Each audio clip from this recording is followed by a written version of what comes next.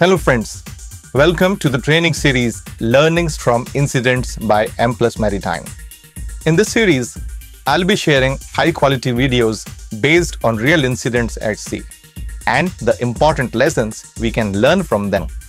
Feel free to use these videos in your company circulars, QHSE newsletters, or as part of your crew training programs. Let's start with a real incident that became one of the most expensive anchor related accidents the shipping world has ever seen, and the lessons it holds for us today.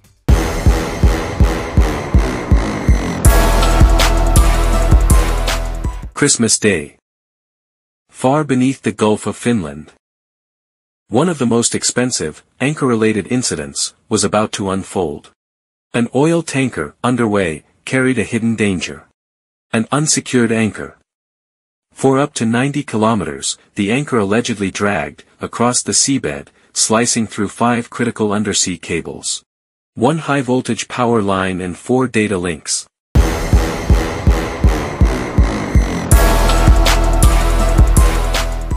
Nearly 70 million US dollars. Internet and energy flows disrupted internationally. Legal charges on the crew for criminal mischief, aggravated sabotage, and interference with communications. Investigators recovered the anchor from the seabed, detached from its chain, severely deformed, with clear drag marks.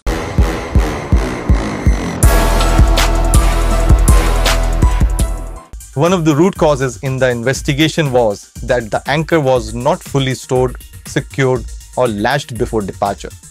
Vibration and ship movement gradually worked it loose, critical failure of seamanship, planning, and watchkeeping.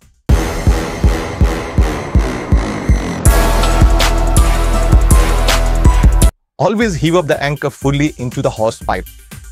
Engage the windlass brake. Lock with the stopper bar. Apply lashings or chains in heavy weather.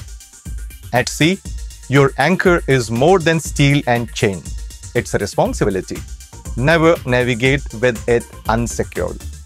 I'll be back soon with more real stories and incidents from sea and the lessons they hold. Please subscribe to my YouTube channel or connect with me on LinkedIn to stay updated.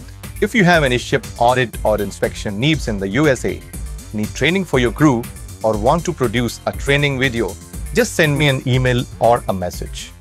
Thank you.